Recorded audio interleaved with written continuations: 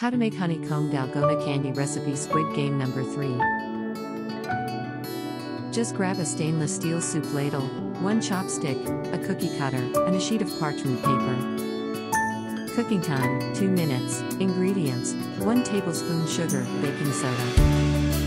Directions number 1 Pour sugar onto a metal ladle and heat it up over low heat. Number 2 Stir constantly with a chopstick until the sugar has melted. Stir vigorously till everything is well combined. Number 4 Pour melted sugar onto parchment paper and press a cookie cutter down onto the mixture. Number 5 Let it cool at room temperature till it hardens. You can get it from eBay. Squid Game Dalgona making kits at only $26 with free postage. Click the link in the description or comments below.